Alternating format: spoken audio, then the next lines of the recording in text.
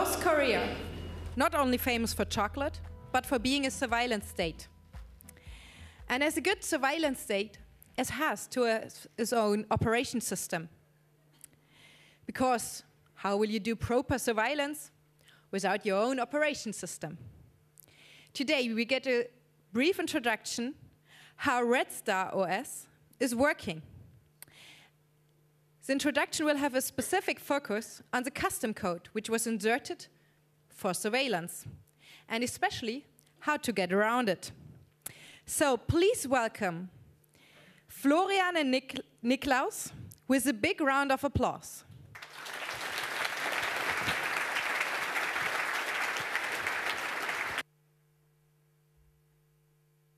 Hey everybody, thanks for having us. Um, we are going to give you a deep dive into Red Star OS.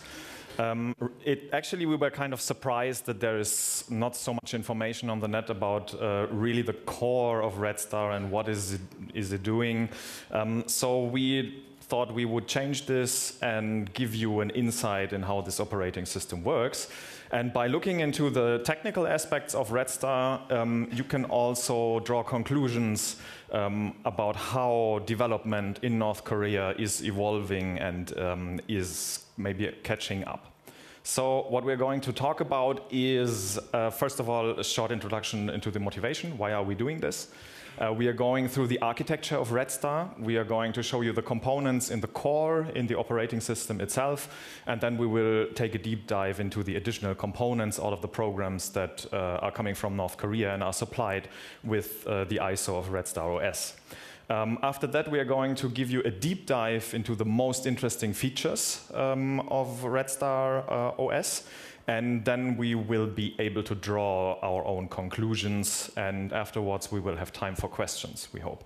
By the way, this uh, picture on the left you can see here is actually one of the. Um, uh, I think it's the screensaver, right, from Red Star OS. So, um, yeah.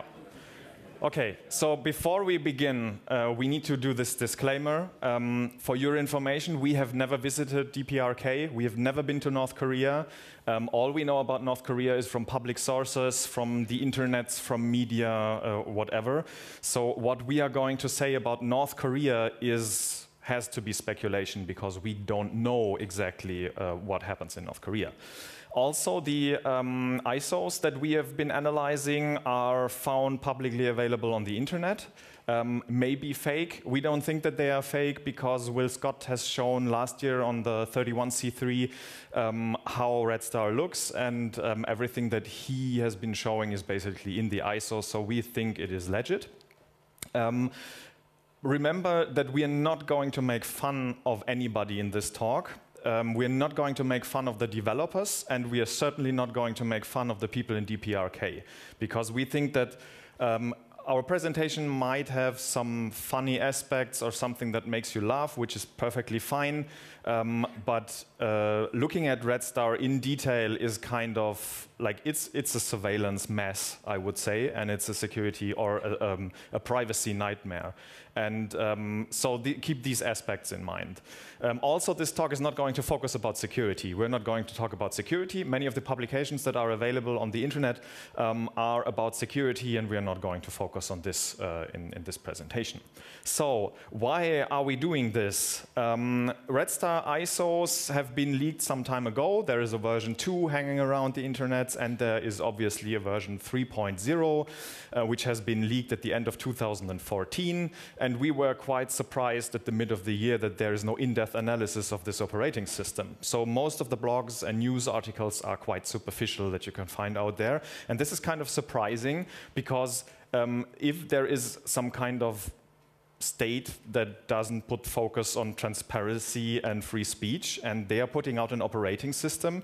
Actually you kind of want to know how do they build their operating system. So that was one one of the major aspects for us to look into it. The other aspect was on to find out how is the state of software development in DPRK. How are they developing software? Is it like um, uh, do they have like uh, a well thought uh, architecture? Are they thinking about what they are doing? Um, so, how is the level of, or the skill level of uh, software development in North Korea? So, the, these were the two um, aspects that we wanted to find out.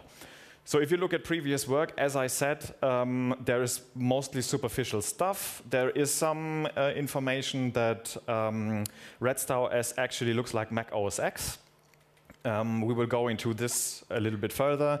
Then we have this uh, talk from Will Scott last year at 31C3, who was talking about computer science in DPRK, which was very, very interesting and gave a pretty good insight into what's happening in, in DPRK. And then we have um, a few guys, a bunch of guys that looked into the browser of um, uh, Red Star, uh, which is also quite interesting. So um, what we are going to do now is I'm going to show you the custom basic components. I'm going to talk a little bit about integrity on the system. Then I will hand over to Niklaus, who will be like um, looking into the, the core and the surveillance features. And then, as I said, we will have time for questions afterwards. So uh, there are different leaked versions out there. As I said, we have um, a desktop and a server version of Red Star. So you can also use um, Red Star as a server. And it turns out that uh, server version 3 is actually used on the internet right now. As you can see, there is a server header returned uh, Red Star 3.0. Uh, this is an IP address of the server, and it is uh, pointing into North Korea. So this is one of the few websites um, that is publicly facing the internet from North Korea. And they're obviously using the server version in version 3.0, so 3.0 might even be the latest version. There is another version, 2.0, which is also has also been leaked to the internet, and then there is supposedly something that looks like 2.5. Uh, we have found some South Korean um, documents uh, that seem to be analyzing the system quite superficially, and um, it looks like 2.5 actually resembles the look and feel of Windows XP. So you kind of see this evolution right now from 2.5 XP going to 3.0 mimicking Mac OS X. Our talk will focus on the desktop version, which is desktop 3.0. If you look at the timeline, which is a guess. There's no documentation available on how they did it, obviously. But if you look at the, the, the 3.0 version, you see that it is um, based on a Fedora 11, which came out in 2009. So our guess is that they started developing 3.0 in 2009 with this Fedora 11 release. Um, the kernel that they're using is 2638, which came out with Fedora 15 um, uh, in 2011. So could be that uh, the operating itself is a little bit older, the kernel is a little bit uh, newer, and the latest package build dates that you can see in Red Star OS date to June 2013. So our guess, educated guess, is that uh, Red Star came out in June 2013 or a little bit later, a few weeks later or months later. In December 2014, we had the public leaks, so the ISOs have been leaked to the internet and are publicly um, available right now. If you look into the operating system, it's basically a fully featured general desktop system you might imagine. It's based on KDE and Fedora, as I already said, and it tries to mimic the look and feel of Mac OS X. You have an email client, a calendar, a word processor, you got QuickTime, um, and all of that stuff. You even have a disk encryption utility that um, Will Scott has shown uh, last year. Um, they implemented additional kernel modules and they touched a lot of kernel modules. So um, they have this kernel module RT scan, which Niklaus is going to say a little bit more. They have a kernel module which is called Pilsung. I was told, told that this means victory in Korean, and that kind of is a kernel module that supplies AES encryption. So they implemented an own kernel module to supply something like AES. Uh, then there is the kernel module called KDM, which is the Korean display module, and KIMM, which is not what it's like. It's not looking well. I'll just go on, um, which, which basically just does something with uh, Korean letters and um, displaying Korean letters on the screen. Um, developed is uh, has been delivered by the KCC, the Korean Computer Center. Um, it's quite interesting that they, uh, like, since uh, I think that a few years ago they had an office in Berlin. Uh, like I don't know what they did there, but they obviously had a had an office in Berlin, um, maybe for knowledge sharing, whatever. And uh, if you look at the system hardening, it's quite interesting that, that, they took care of system hardening. So they implemented SELinux rules with custom modules.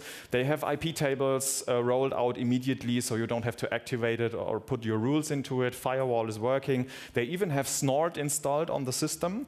Um, it's not running by default, but they are kind of delivering it in default, and they have a lot of custom services that we're going to look into right now. Um, quite interesting is okay, so why should North Korea mimic Mac OS X? That might be one reason right there, because this young fella sitting on the left is actually using an iMac right here. Um, so this is one reason. Um, so why should they implement their own operating system? There actually are uh, so-called anthologies that are put out by the leader. Uh, and one uh, um, anthology by Kim Jong-il says that if you translate it correctly, and we try to, in the process of programming, it is important to develop one in our own style. And with one, he means basically programs and operating systems. So there is this clear guidance that um, North Korea obviously should not rely on third-party Western operating system and programs. They should develop this stuff uh, on their own. And by looking at the code and everything that we have started by Red Star OS, this is exactly what they did. They touched everything, nearly everything on the operating system, changed it a little bit, uh, added custom code, and so this is actually what they are doing uh, right there. The custom applications that you have is a browser, which is translates to my country. Um, you also have um, uh, a crypto tool that Will Scott has shown last year, which is called Bocam, which is, if you translate it, kind of translates to sword. Um, you have Sogwang Office, which is an open office customized for Korean, North Korean use, a software manager. You have Music Score, which is an application that you can compose music with. Um, then you have a program which is called root setting, and it basically gives you root. So if you look into the documentation, it says you're not supposed to have root on the system for integrity reasons, but if you want to get root, you can use this tool. So this is like they're not hiding anything. So there are rumors on the net that say that you're not supposed to get root on the system because it's so locked down. This is not true, obviously, because there is intended software intended to give you administrative privileges. They even touched uh, KDM. Um, so the, the, the code base that they touched is, is really, really big, nearly the whole operating system. Uh, we are now going to give you a demo. Actually, the first demo that we're doing is we're doing it right now because um, we are actually doing this presentation in Red Star OS.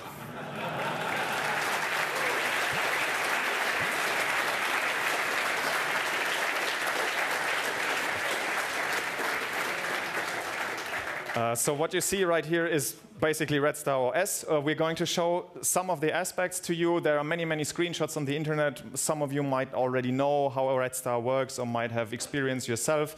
We're just going over a few interesting issues. So as you have seen, there is like a full-blown um, set of uh, um, word processing, PowerPoint presentations and stuff. I'm going to open up the browser, whatever um, and uh, going into the preferences just to give you a quick, um, yeah, a quick, no, oh.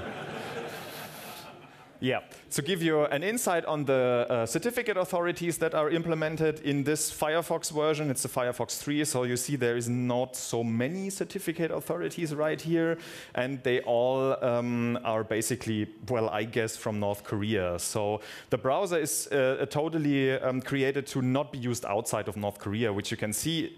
Uh, you can see like in the um, uh, in the in the URL bar that there is an internal IP address which they, which goes uh, which points into the um, network of North Korea. And all of the settings, proxy settings, hard-coded IP addresses or whatever, all point into this internal infrastructure of North Korea. So this browser and the email program uh, was never intended to be used outside of North Korea. Uh, okay, what else do we have? Um, okay, we have a QuickTime player. So actually, speaking about mimicking Mac OS X, uh, you all have seen like this woo swoosh, right? Okay, so that perfectly mimics Mac OS X. Um, haben wir den Sound an? Ist an? Ja, okay. Uh, okay, so let me try to find, uh, I'll try it with rplay right here. So this is a shell. Um, quite interesting is that um, when we were looking through all of this stuff, there is a bunch of files that um, have uh, a certain protection, and they seem to be pretty important for the system. And then there is a wave file, uh, an audio wave file that actually um, is protected. Uh, it's user libwarning.wav. I, I don't know if we can hear this. I hope that your ears are not going to explode right now. I'll just try it. I'll try it again. You hear that? Does anybody know what this is? Pardon me? Yeah, pig, exactly. And where is it coming from? Does anybody know? that's stolen from Kaspersky antivirus because in the older version of Kaspersky antivirus, if you find a virus, it actually will play this sound, and it's exactly the WAV file from Kaspersky. We verified this by doing checksums, okay? So we have a copyright violation right here.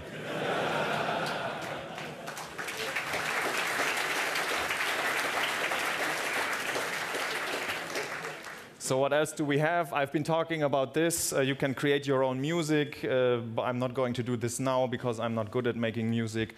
Um, what else do we have? We have the browser. Did we want to show? Ah, yeah. I'm going to show you one more thing. Um, I'm not going to show you the encryption tool because Will Scott has done this last year. But um, to give you an um, insight into the crypto tool. It's pretty interesting. If you look at the description of the Bochem 3, is Bochem is the tool that is used for disk encryption, so it provides the user a tool to encrypt files or even the complete hard drive. And if you look into the description, it says this allows the user to store his her privacy data with encrypted, which is quite nice. Right? I mean, like we didn't expect like to have something like this in um, in Red Star. So the user can actually try, at least try to uh, encrypt files. Um, Bochem is using out-of-the-box uh, crypto that comes with the kernel. It also uses Pilsung, um, which we don't know if there are any backdoors in it or not. So we have no idea if this is possible to kind of uh, decrypt with a master key or something. If you want to look into this, uh, we would be happy if somebody with, with big crypto experience would look into it.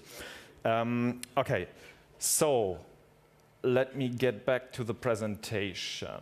Ah, one thing I need to show you is uh, this red flag uh, on the right corner right here. Uh, if you look into this, and if you are going to translate, I didn't click the right one, so if you are going to translate all of this, um, you will find out that all of the strings and all of the text that you see right here, they kind of come or seem to be an antivirus scanner. Okay, so they even implemented from scratch an antivirus scanner in Red Star OS. You can now select a folder or a file and say run a check on the file. And if um, the file actually is a malicious file, we will come to that part later, what malicious is, um, it will instantly be deleted from the hard drive. Okay, so this is an interesting feature having an, um, uh, an, an virus scanner in a Linux OS. Okay, so let's look at the custom components. Um, we have been looking into like the user space a little bit and all of the programs that come with it. There is far more stuff. Um, download the ISO, play around with it a little bit. Uh, first, change the language to English. You will obviously not uh, get far if your Korean is bad. Um, so uh, change the language and then just play around with it a little bit. So Red Star comes with interesting packages. Um, they touched KDE, as I said. They are getting out an integrity checker and a security daemon. There are signature packages right here, which Niklaus is going to talk about a little bit. Um, there are policies for, SELinux, and I'm going to talk about uh, two of the integrity checking mechanisms that uh, Red Star has. So by looking at Red Star, we saw that uh, one thing uh, was pretty important to them. They wanted to preserve the integrity of the system. And uh, one way to do this is using this uh, process right here. It's called IntCheck. Um, it comes with an SQLite database uh, with hashes of uh, files on the system, like signatures uh, for the system, and uh, you can configure it from user space, so it's not pretty hidden. It's not. It's pretty transparent to the user.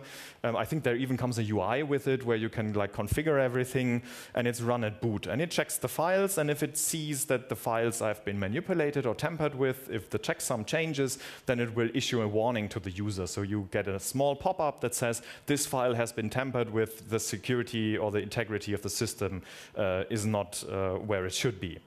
Um, so that's pretty much it, what this thing does.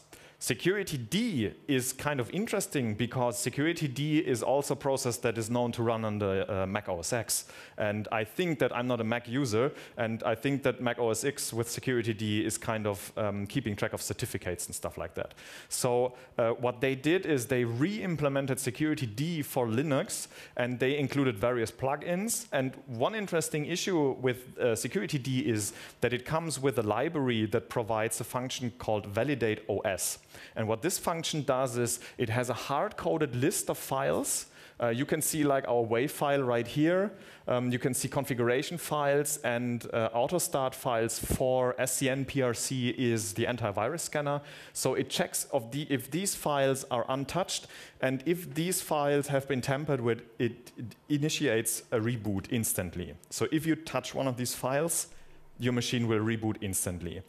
The same library is also used uh, um, from KDM. So during the startup process, when KDM is starting, it is also doing an integrity check. And if it finds that one of these files has been tampered with, it actually immediately issues a reboot. And the problem is that if you start tampering with the system, you will end up in reboot loops all of the time if you're doing your research, because um, once KDM is saying reboot the system, it's going to check it again if it's rebooted and sees like it's still tampered with and it's rebooting again and again and again, and then your system is basically dead. So what they try to do with IntCheck and securityd is kind of protect certain files, conserve the integrity of these files, and if these files get tampered with, they um, assume that it is better to have an operating system that you cannot work with anymore uh, than to let, still let it run or issue a warning. So integrity is one of the main aspects um, they were looking for by implementing Red Star. Okay, I will hand over to Niklaus, and he will go into the guts and the surveillance features a little bit more. So yeah, the um, most interesting uh, package we found was this EZIC package, uh, EZIC uh, CB package, uh, which actually says in the description that it's electronic signature systems. Um, but but uh, we found that it's uh, doing a lot of weird stuff. And this is actually one of the pictures which is included in the package, which is also protected.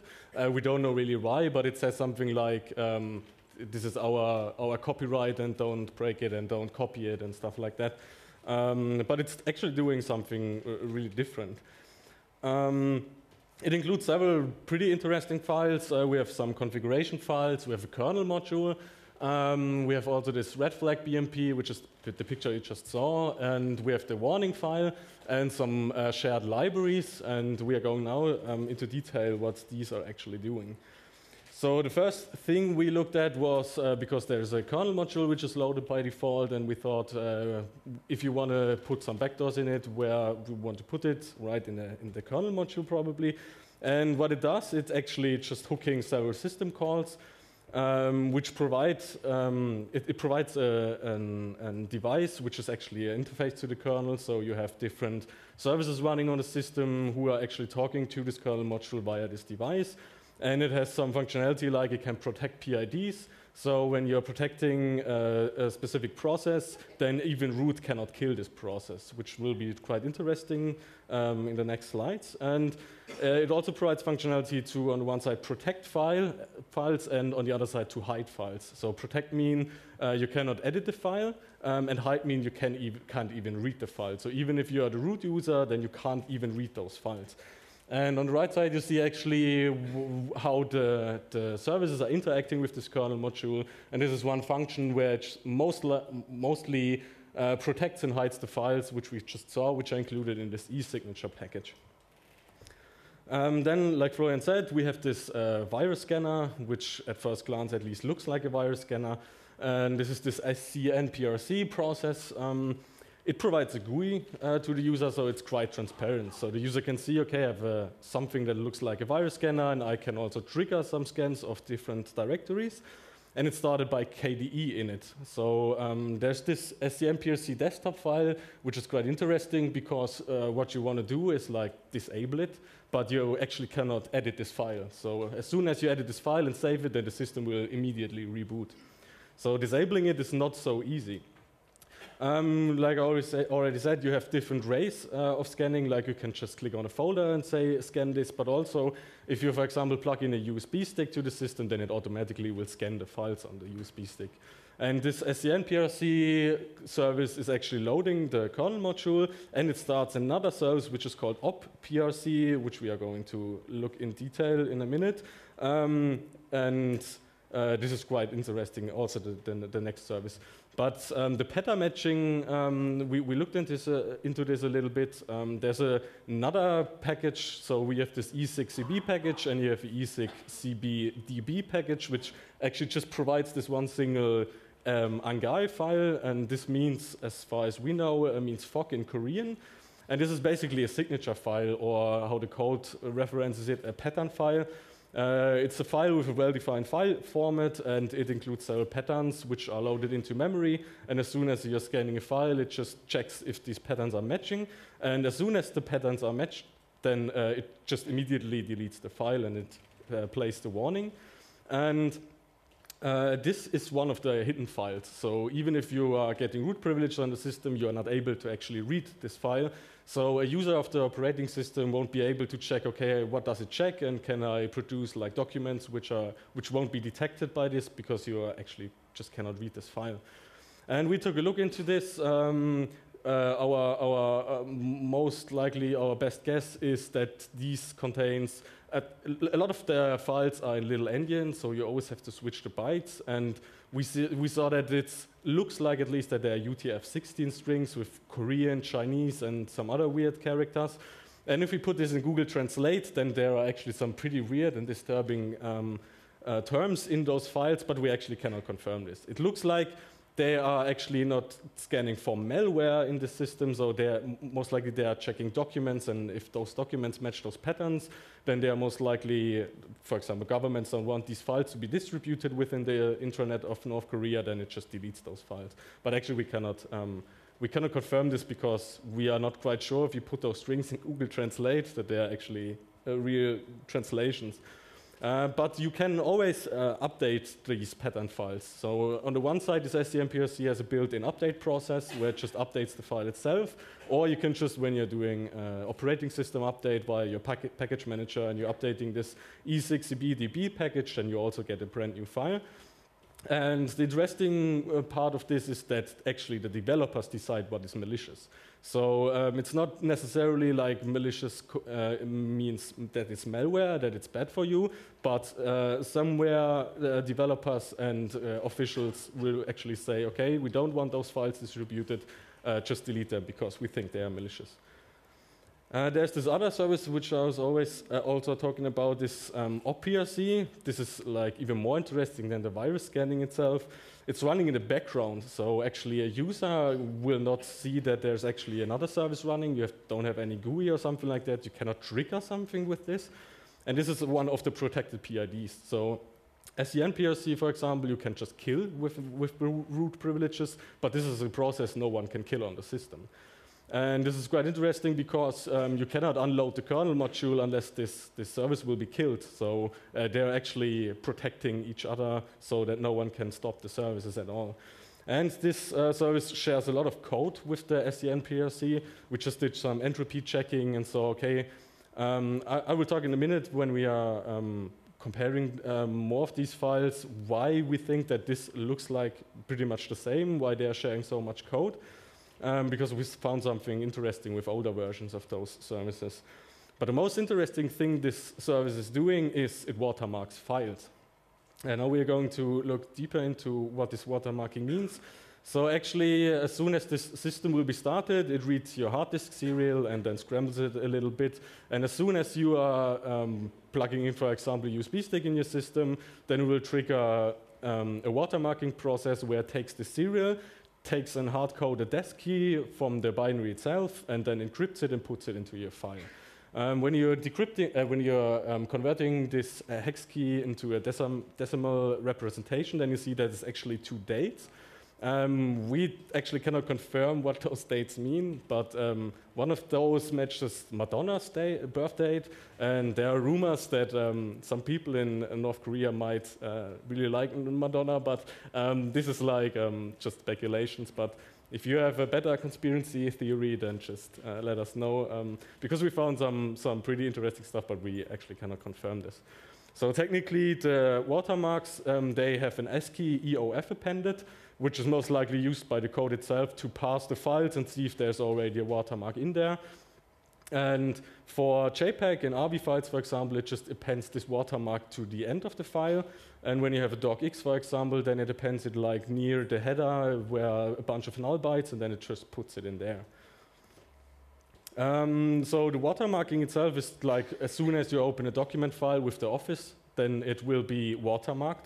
Um, and actually, they have code which, which watermarks files, even if you don't open those files. But it's as soon as we saw this, it's like pretty buggy. It doesn't work every time, um, but they have code for this implemented, and mostly it works, but sometimes it just it just uh, fails. Um, the supported types that we can confirm are docx files, uh, image files like JPEG and PNG, and AVI video files. Uh, but the code indicates that there are several more file types available for watermarking, uh, but we most likely didn't look into this. But uh, the most interesting uh, thing here is that all, only media files are affected. So they don't watermark any binaries or something like that. They just um, they're reducing their, their surface to files which could be used to carry information, which is actually which could be used to uh, to um, put information which uh, for your free speech purposes.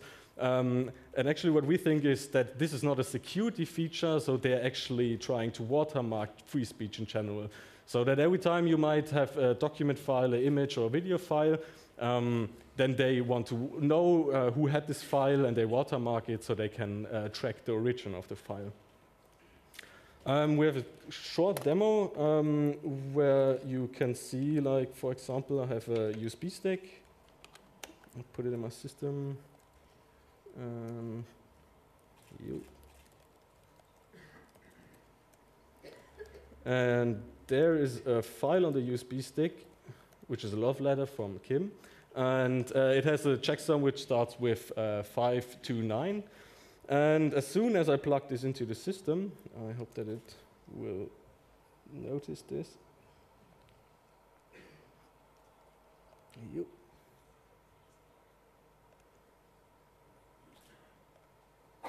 You can see, okay, it, it recognized something like a USB stick on the system, but I won't open it, and I won't open any file on the, on the USB stick.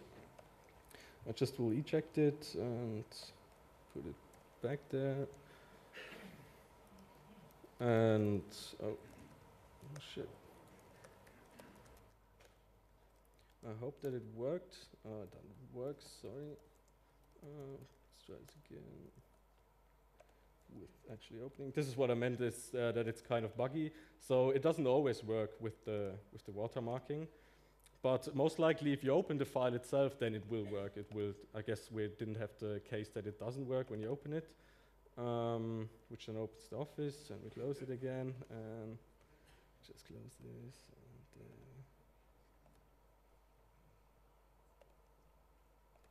put it back, and then hopefully, if we mount this again, then you can see it has been changed. So um, we didn't change anything in the file. Um, it was just the operating system who's changing files.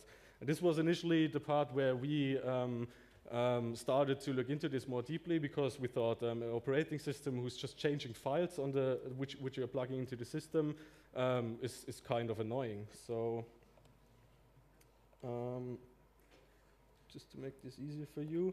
Um, so what it actually does in the file, we have here now the header of the file, which is a document, a docx file, and it just uh, added this string, which is, which is marked right here. Uh, this is actually the watermark it's putting in there. Uh, up here there you can see the, the plain text, which is actually encrypted and then put into the file. And the serial starts with B48. So every time it puts the serial into the file, it, uh, it prefixes it with uh, WM, which we think is, stands for watermark probably. And you can see the EOF at the, at the end of the file. And this allows basically uh, everyone who can uh, access this file, who can decrypt this, um, this uh, watermark, which is actually encoded with a hard-coded key. So pretty much everything, everyone who has access to this ISO uh, get this, can get this key and can de decrypt this. And uh, this, this allows you to really um, track back the origin of the file, where it came from. Um, but there's a, a, pretty, pretty, pretty funny example. So uh, imagine you would have this picture, and uh, you're inside of North Korea, and you think, okay, this is pretty cool, and I want to distribute this to all of my friends.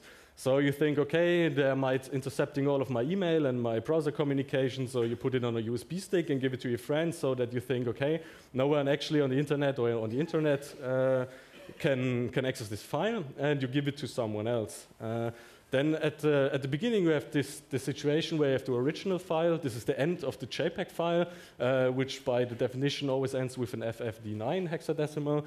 Um, and as soon as you give this to your friend and he, he plugs the USB stick into his computer, which is running uh, Red Star OS, um, then the file will actually change and it will look like this.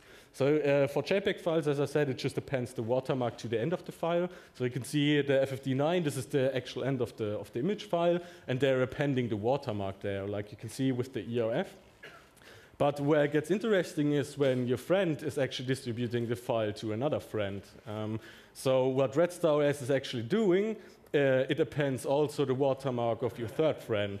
So what you then can basically do if you uh, technically combine this together, then you can not only see, okay, where the file has its origins, but you can also track each and everyone who had this file and who distributed this file.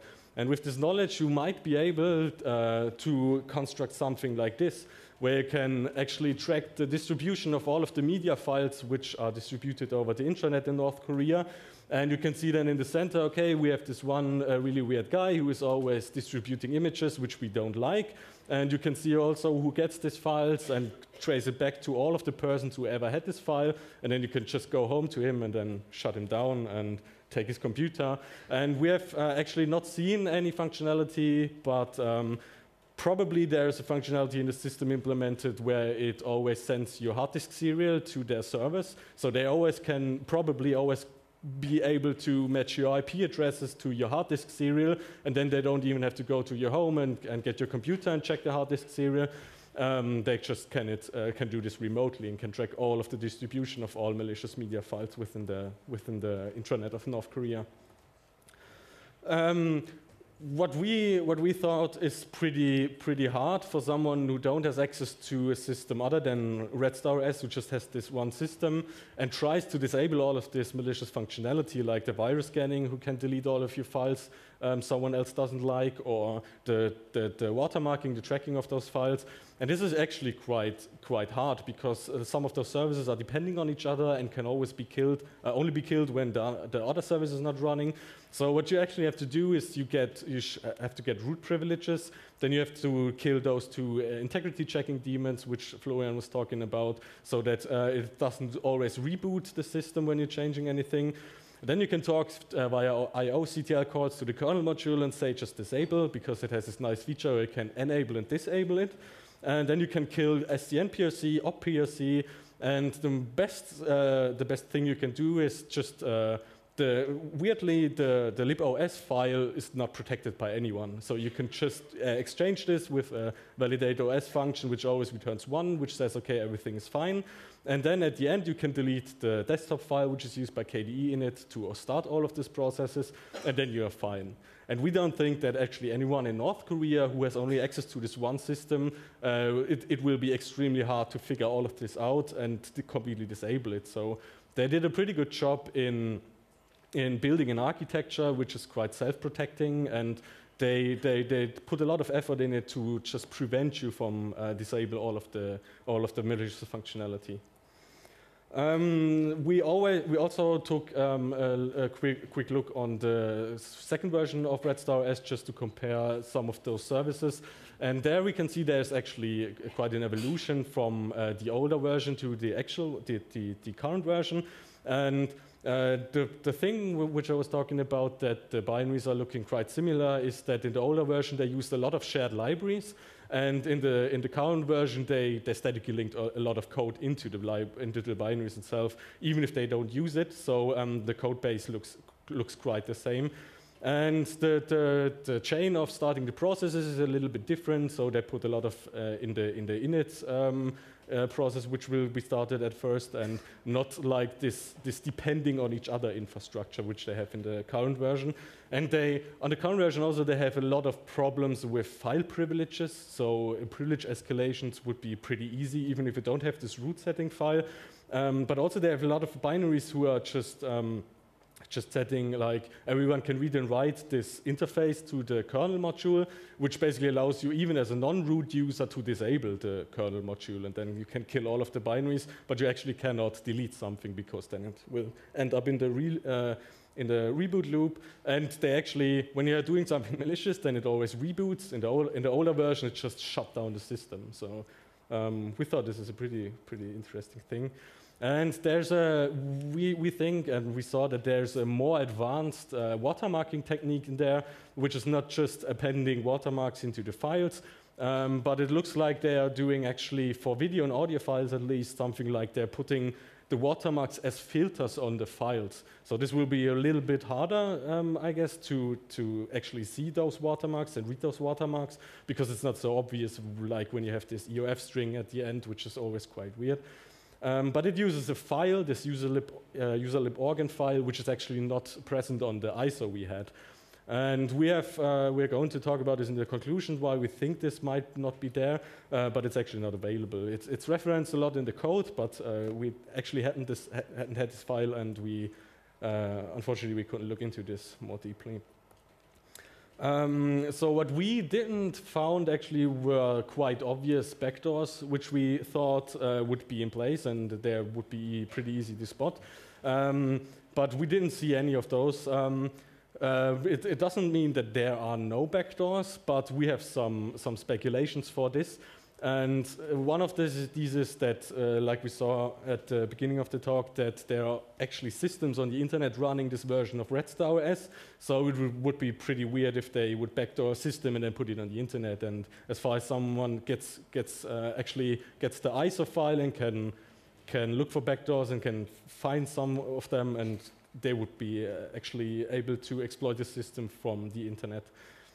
Uh, actually, the system um, has a package manager, and uh, as we saw with the pattern file, uh, it has built-in update functionalities in different services. So backdoors could be just uh, loaded via updates, because um, probably they thought, okay, this ISOs might be leaked uh, into the outside world, and um, you just get the ISO, install it, update your system, which the updates are only a um, possible from within the intranet of North Korea. So this is all with hard-coded internal IP addresses. So pr probably they thought, okay, only, we want only our backdoors on the system which are actually located within North Korea. And uh, yeah, um, this is like what we thought is the best guess that they were so um, were really thought that the ISO might be leaked, which actually happened. And uh, another problem is that, like Florian already said, is that they will touch a lot of code in the operating system, and we uh, we didn't manage to check all of the code. We uh, mostly focused on the watermarking and the virus scanning stuff, and uh, there might be a lot of code that should be checked um, further. Um, and the conclusions also is that the system is quite self-protecting. It's um, they not only implemented uh, several services for integrity checking themselves, but also they they configured and implemented like SELinux and something like that um, to just protect the system to make it more secure. Um, what is really bad, what we think, is this virus scanning and watermarking, because it actually allows you to um, track not only the origin, but the complete distribution within the network of those files. And combined with the virus scanner, where the developers are able to actually um, say, okay, what files are really malicious and what shouldn't be distributed within our network, then it just deletes those files. So these two combined are really a really, really strong um, uh, framework which can help you to track uh, malicious people within your network. Um, but two, some words about security. Um, like I said, they have a lot of problems with file permissions. Um, they're actually having some documents on the server version of the, of the ISO, at, uh, the, on the ISO of the server version of Red Star OS 3.0. And there are some user guide and administration guides which are quite interesting. And they are talking a lot about uh, how to make the system secure, how to run it secure, and uh, why, why, they're doing different kinds of stuff uh, just to save the integrity of the system. And they always they, they have a, a, huge chapter talking about file permissions, but they actually didn't uh, manage to fix them themselves, which is quite weird. And uh, even their custom code uses uh, basic memory uh, corruption protections like stack cookies and non-executable stacks, which uh, we saw that uh, a lot of security vendors doesn't bother to use. So we thought this is quite funny. So um, some of their code is more secure than a lot of security appliances. Um, okay, so wrap this up, am I going? Can you hear me? Yes. Okay. So to wrap this up um, again, we think this is a guess that primarily they try to protect and to uh, save the integrity of the system, which totally makes sense if you're putting out an operating system from North Korea. Um, the system was, in our opinion, definitely built for home computers, so it's not like industrial control or uh, something else. It's definitely built for a home user because it mimics Mac OS X and gives you all of the tools. Maybe the reason why we didn't find backdoors is they actually know that backdoors are bullshit. Could be a reason, we don't know. If you want to look into Red Star OS and help us out, especially with the crypto, the Pilsung uh, kernel module, which provides custom crypto, um, with a look into the kernel to see if there is something hidden there, if maybe there are backdoors there, take a look at our GitHub and uh, please contribute if you find something because we think that this message and all of this stuff has to be put out to the public. So it is a well known fact that uh, this operating system is um, actually abusing free software to actually make free speech harder in a country that is quite oppressed. So with this, we are at our end, and we are going to take your questions now.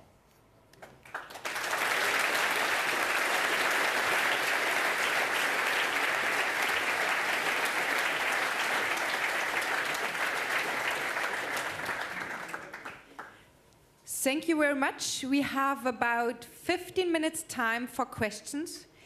If you want to ask a question, please come to the microphones. There are some on the right and some in the left aisle. If you, for any reason, can't come to the microphones, please raise your hand and I'll come to you with my microphone.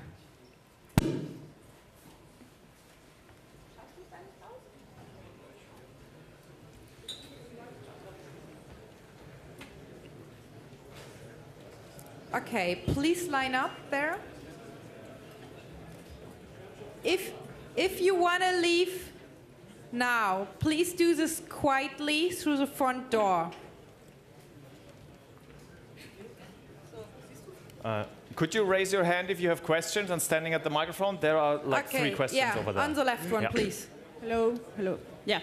Uh, so thank you very much. It was very interesting. Um, I have two questions uh, have you tried isolated the, isolating the system in a chroot jail? And the second one is, uh, were there any outbound connections, like automatically outbound connections it made? Okay, so for the first version, we did not uh, try to run it in an isolated environment. We actually didn't. Did we install it on a live system? I don't think so, mm. right? We, did we? Yeah, yeah, Okay. But we didn't do any observations that this changed the behavior of the system. Um, Concerning the second question, there actually is not really outbound traffic. What it is doing is on the local network, it is talking a lot of uh, NetBIOS stuff. So there is an SMB and um, uh, NMB daemon running on the system, and it's talking a lot of NetBIOS. But this is basically everything we could find. We have even we left it running for like two days to see if there is like an outbound connection for one day or something like that. We couldn't see anything like that. So the only stuff um, that that Red Star is talking to the to the to a network is like this Windows uh, NetBIOS stuff, and uh, it is if you push the button uh, on the update feature of the virus scanner, it's actually trying to initiate an update process that goes to five hard-coded IP addresses that are all local. So like 192, 168.9 something and 172 whatever. So these are the only network connections that we could trigger or that we have observed so far. Thank you. Okay, the next question is also from this phone, uh, from this microphone. Uh, two questions. Uh, might it be possible that it, like when you install the system, it gets called from North Korea, so you cannot find out if it's calling home because Yeah. you don't get the Could be. call. Could be. Our guess is actually that um, there is far more stuff that you get when you um, pull up the, the operating system in North Korea. So. Uh, one reason is the organ file that um, Niklaus mentioned that is missing on the system with the additional crypto information that is used for the extended watermarking that they're applying. Um, we don't know where this file is coming from. And from our perspective, it totally makes sense to not distribute this file on the ISO, but to kind of give it as an I don't know, somebody has to come to your house to install the software, and then he puts like this dedicated organ file on your desktop that is specific to you, for example. That would totally make sense. Because as you know, like stuff works a little bit different. It's not like downloading an ISO and installing it. It's probably more complex to get this onto your system if you want to use this. Right? So there might be stuff that is either pushed via updates uh, only internal and like this organ file and other stuff that can get to your uh, computer we don't know if this is possible or if something is happening like with this feature And the second question is like, uh, if you look at it from the North Korean view, it's like they have the problem. They are quite happy, have a nice state, everything's working fine from what they say. And now people come from South Korea, from Western countries, bring their USB sticks with like Western propaganda to like have stuff like this watermarking, even if it's like evil, like a natural re- reaction from like a closed system. so actually it, it totally makes sense to develop the system in the way they developed it. It totally makes sense because it kind of reflects a little bit uh, how the government is working. Because integrity is not only like a critical part for the operating system it's also a part for like uh, the state itself like shutting down everything and closing off everything. That's by the way the screensaver. Uh, and closing down everything um, also totally makes sense. And tracking stuff that is distributed in the country or deleting unwanted stuff also makes sense. So what we think that red star kind of resembles all of this and is like matches uh, how culture is in, in north korea actually Okay, we also have two questions of the IRC, which I would like to shift in. Uh, yeah, thank, thank you. Okay, um, the first question is if you have any theory on how and uh, why the ISO got leaked. Can you ask the question again i didn't Yeah, how and why the ISO image got leaked. Uh, we don't know this actually. Why is like we don't think that it was somebody from North Korea. We th- think that it might be a foreigner that uh, got out. Like Will Scott uh, told us last year that he was able to get a copy of it and get it out of the country. There might be others that are able. I mean, there is actually tourism in North Korea, right? You can go there for your holidays. So I guess that if you put a little bit of effort into it, it's possible to get like nearly anything out of the country if you want to try to take the risk. But we don't know who leaked the version and we don't know why it actually was leaked. So uh, there are actually rumors that it was a Russian student with, uh, which was studying in North Korea, and he bought this on the street and it just brought it out of the country and put it on his blog. But we cannot confirm that this is actually true. Okay, thanks. And uh, the second question is uh, if there has been uh, any attempt at the custom kernel modules yet, like reverse engineering or something. Well, we reverse engineered RT scan, which is pretty simple because it just hooks a few function calls, that's it.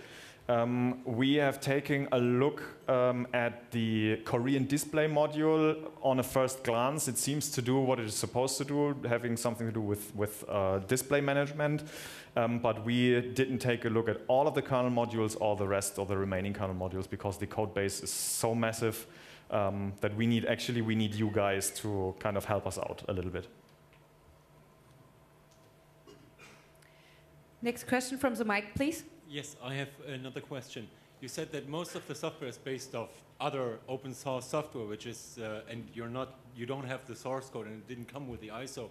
So it's pretty much a massive violation of open Absolutely. source licenses. Yeah, absolutely. So my question would be, could you get get an insight on what other packages are, are available, or uh, from the package manager, or and what other Actually, there is a, a? DVD that you can, uh, which also was leaked. I think that it was for Red Star 2. I'm not sure if it is also for the for the uh, for the latest version. But um, there is a CD with additional software, and you have stuff like Apache, MySQL. pff, Uh, I don't know, uh, like all of the stuff that you basically need to run a full-blown operating system under Linux. Um, so there is additional software out, out there. You can download the uh, the um, uh, the DVD and install this software on on the machine. If you, if you go through the RPM descriptions, you will see that um, they even, for some of the software they wrote, they kind of used um, uh, a description for the um, uh, for the license that says KCC, which is the Korean Computer Center, and sometimes they use GPL and sometimes they use GNU, and yeah, so massive Did you- uh, Yeah. violations. Did you ask them for the source code? Actually, we think that there is an internal Git in North Korea where, can you, where you can just check out everything. So we suppose it is this way because it's like open source, right? Okay, yeah. By the way, open source.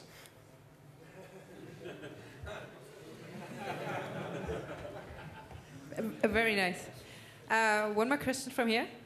Uh, are you having a question? No. Okay, then we have one more question from the internet. Um, yes, the question is if there is a possibility to um, fake the watermarks to get like some innocent North Korean into trouble. You, you prob- yeah, no problem because the key is hard coded. You could like, uh, you know how to scramble the the um, hardware uh, ID or the, the disk serial, and you could perfectly forge documents. That's that would be not a problem, not not a problem at all. You just need the, the serial number basically. Okay, and uh, I just got another question. Uh, that is, uh, does the warning.web uh, have a watermark? Um, No, no, it, it's actually it has the exact same checksum as the original file. So um, Actually, the, like we didn't check if it had. No, it doesn't. Yeah, so it does not have a watermark because, as Niklaus said, yeah, it's the same checksum as the Yeah. Kaspersky one. Okay, thanks. Okay, thank you very much. Please give Florian and Niklaus another big round of applause for their amazing Thank talk. you.